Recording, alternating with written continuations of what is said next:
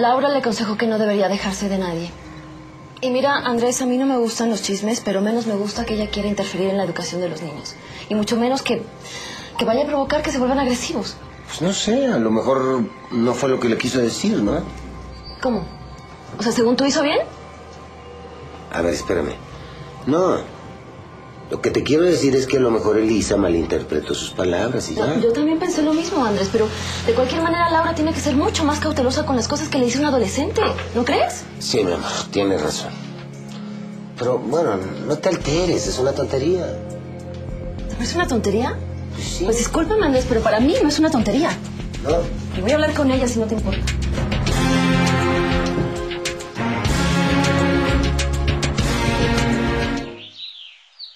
Cecilia. Cecilia, carajo. ¿En dónde estás, Cecilia?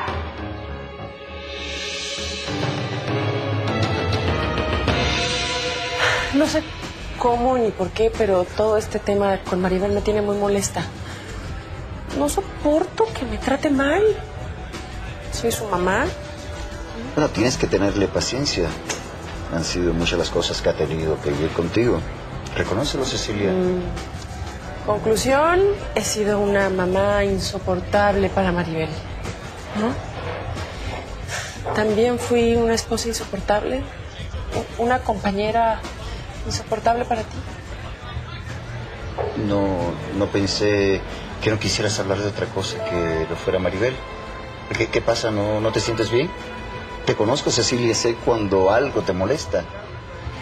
A ver, primero, yo no soy la única que ha estado buscando estos encuentros, así que no me hagas a mí solo la responsable, ¿ok? Y segundo, yo estoy bien, estoy, estoy bien, estoy contenta, así que de depresión, nada. Y mi autoestima está alta, no te tiene que estar. Todo está bien. Pero, ¿no será que estamos como jugando a, a la seducción?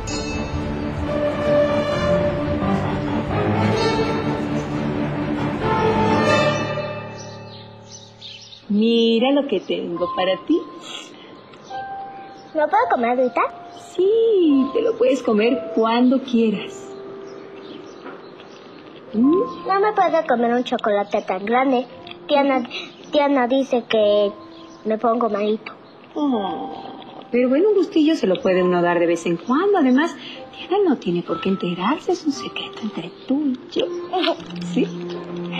Andresito, guarda ese chocolate, mi amor, para después de comer. Estas no son horas de dulces, ya lo sabes. ¿Me guardas? Claro que sí, mi amor, yo te lo guardo. ¿Por qué no vas al coche a ver a tus hermanas? Están allá esperándote. ¿Besito? Besito. Suerte.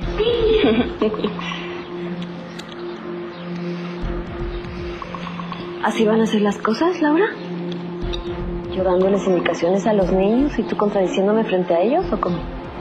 Ay, Diana, te pido disculpas, pero te lo juro que lo hice sin pensar. Eh, Yo eh, solamente quería darle un pequeño gusto a mi hijo y, y no vais a pensar que esto lo voy a hacer todos los días, no es así. Muy bien. ¿Sabes qué, Laura? No me gusta mucho lo que estás haciendo. Siento que estás interfiriendo en la educación de los niños. Oh. Y no solamente en la de Andrés, sino también en Elisa. ¿Elisa? ¿Qué tiene que ver Elisa? Laura, tú me aconsejaste para que se defendiera, ¿cierto? Bueno, ella lo hizo, golpeó a su compañera y ahora está castigada.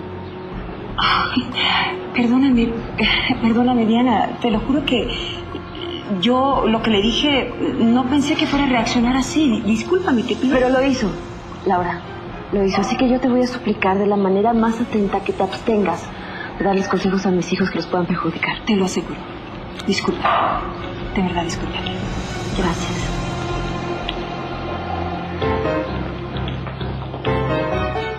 Contrólate, Laura. Contrólate. Mi amor. Mi amor, ¿qué te pasa? ¿Eh? Nada, no me pasa nada. ¿Cómo nada? No, no, mi amor, ¿qué te pasa? Mira nada más la cara que traes. ¿Qué es? ¿Qué te pasó? Tiene que ver con Laura, ¿verdad? ¿Eh?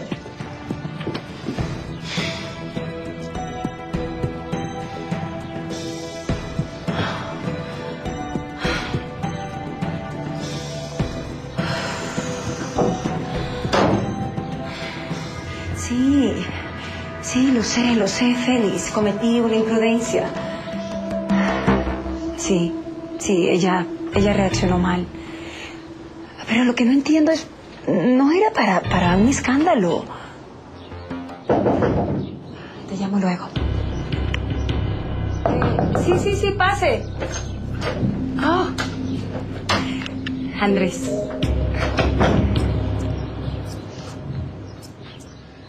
Laura, las cosas no están funcionando. Quiero que te vayas de esta casa.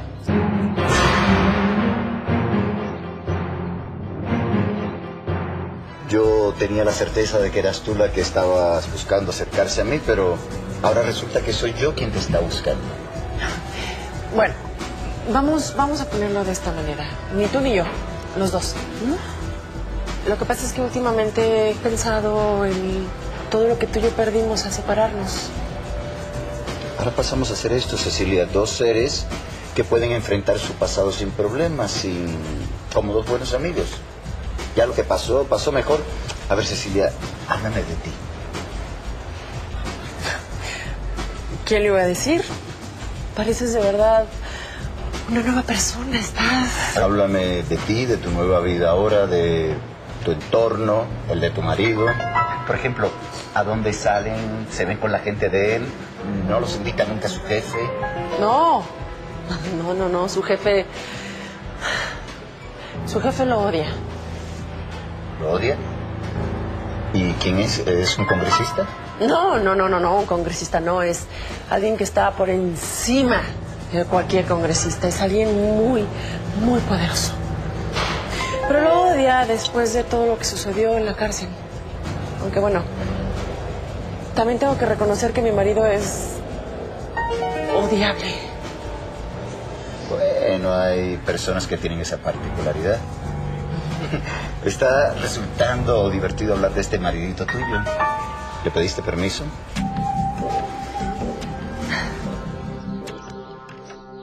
Ay, Cecilia, maldita sea, contéstame. Contéstame.